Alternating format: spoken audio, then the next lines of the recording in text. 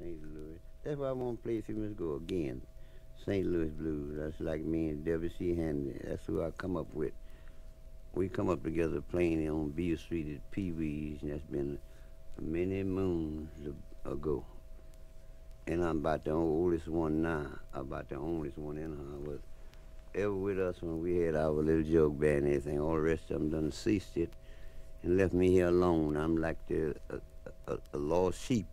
All my friends, my musicians, are gone left forever here. But I thank the Lord as well as it is. What do you want to do? Glory, glory, hallelujah, and I lay my burden down. All right, you want to kick it off? You kick it off and, and do the first couple of verses. And uh, you do the first couple and I'll come in. When I'll I jump in and learn it for you. do that or touch you, you quit. I'll sing a couple of voices. and When I get through singing and everything, I'll just touch you with my hand, and then you sing your voices. Anytime I touch you, it's your time to sing the voice. You understand now? Okay. Okay. Ready?